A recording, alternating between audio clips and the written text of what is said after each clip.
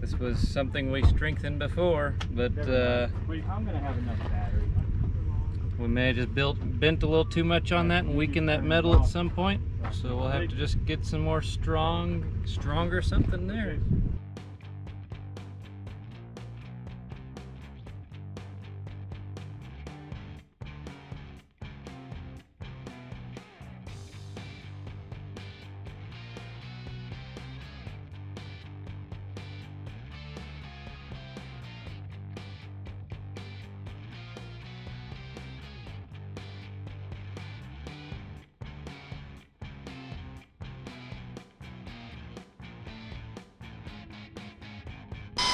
Cut that on the left. We're, we're back to 1.6. It, it just No, downgraded.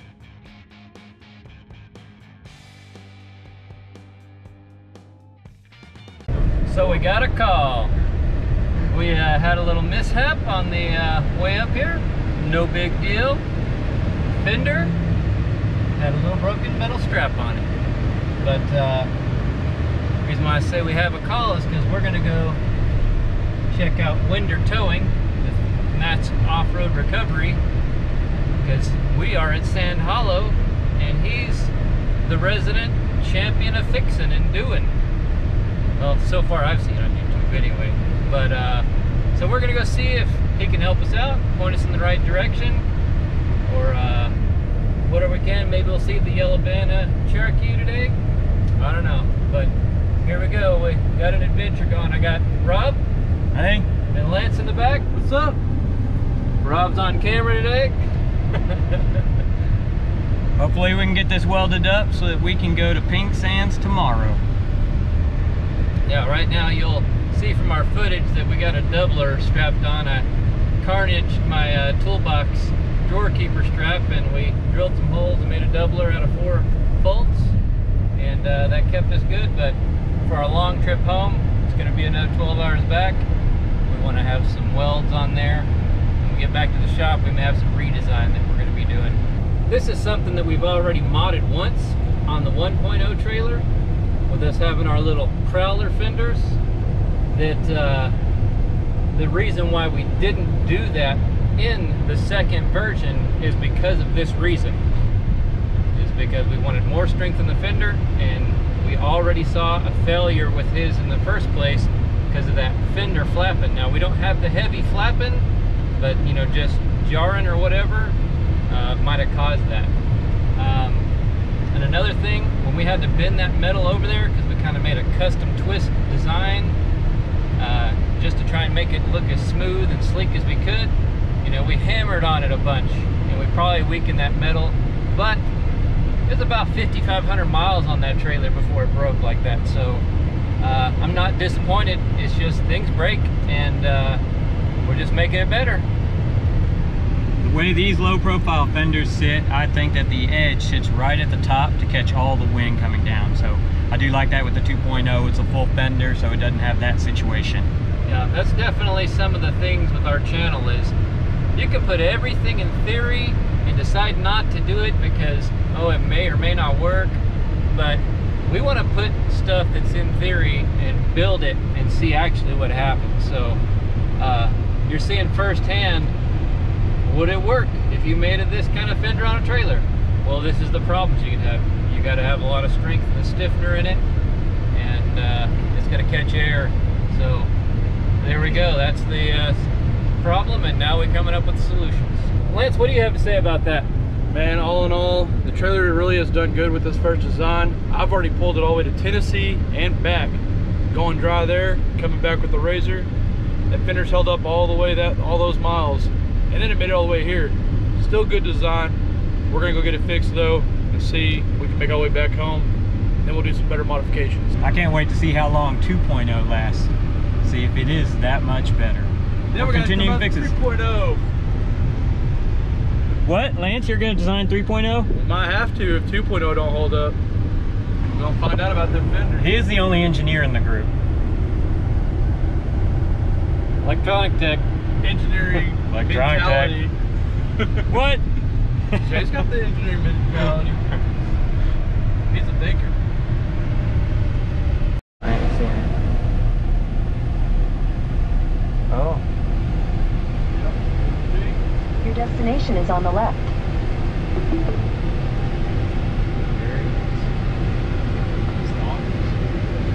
Well, we're here at Winder Towing. Uh, usually meet people who are famous-ish, YouTube famous, I don't know, but uh, he looks like a nice guy, so we're gonna see if he can help us out.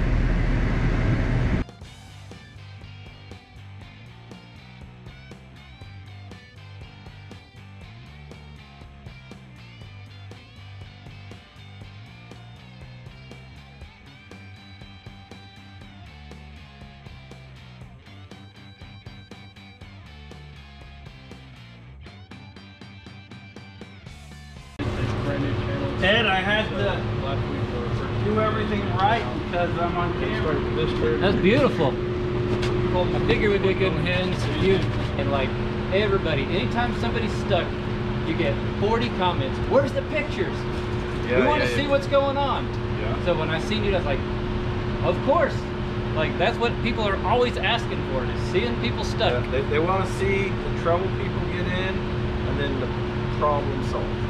Group around our area for Canadian River Off-Road. Get up, Ed.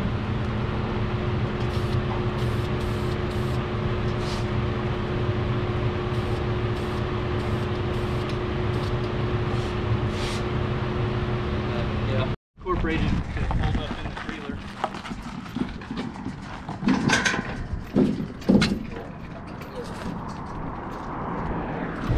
There you have it. The uh, man, the myth, the legend. Matt from Winder Towing Company here in Hurricane, Utah, next to Sand Hollow. He just fixed us up as nice as he looks on video real nice man, down to earth, and I would highly recommend uh, watching his channel. If you've ever been on like our Canadian River uh, groups or whatever, and you want to see people stuck and getting unstuck, it's all you ever want. He's got like three videos a week that come out, and it's great content, and he shows you some good tips, and he's just he's he's the good kind of guy that uh, makes you proud to be an American and just uh, you know here we are states away we're Texans in Utah and felt like we were at home Yeah, it was a pretty good experience there. He was really nice. Uh, it- it's awesome. That's my first time ever meeting a, a well a YouTube star, as far as I'm concerned. He, he's awesome. I love watching his videos. how'd you like the experience Uh, was pretty cool. Also got to sell some uh, Winder merchandise. That's pretty cool. Got a shirt. Hat. Pretty cool guy. Well, as you've already seen, uh, we had Matt weld this, and um, this ride is beautiful, but the roads are tough.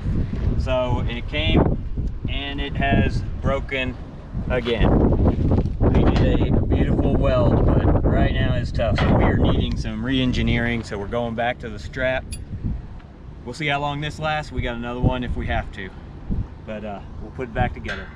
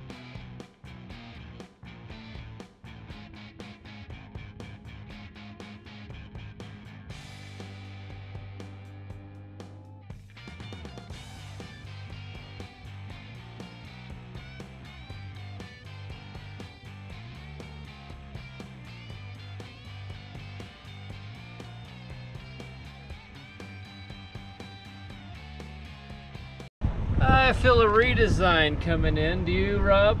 I do. Redesign underway. 1.8. 1.75 uh, drove there and uh, 1.6 1.76 made it the rest of the way there. mod. I don't know what version this is going to be. This feels like a step back. But anyway, we'll get Rob on the road again. But we got about five hours and we're going to be going naked tires. So let's check out both of these suckers. This was our initial brake. It broke again after we got it fixed up and uh, we didn't want to lose it on the highway but this one looked like everything was going great but uh, it decided to have problems too and it immediately started having cracks on the back of the fender so it's gonna be getting dark before we get home and we wanted to not hit someone's windshield possibly so that's it that's what the test is all about we didn't say it's gonna test correct every time. Sometimes we're gonna fail. And uh, it's a long fail in the making. Took a long time to fail, but when it did, it failed hard.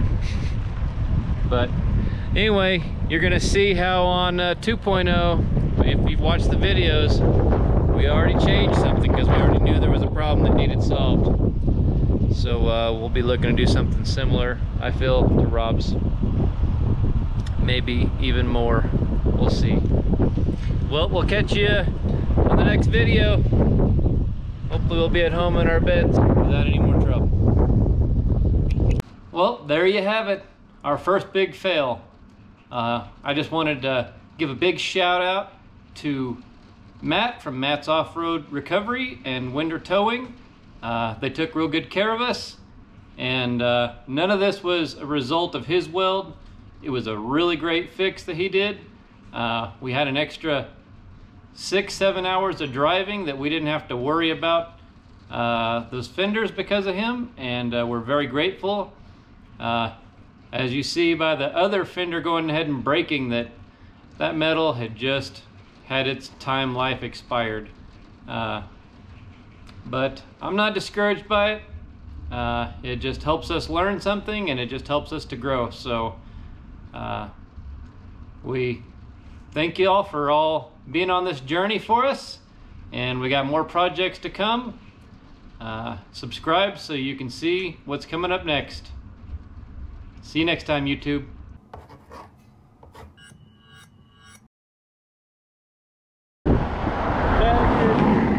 Don't do that. These are expensive fenders. They're trash fenders. They were like $25 a piece.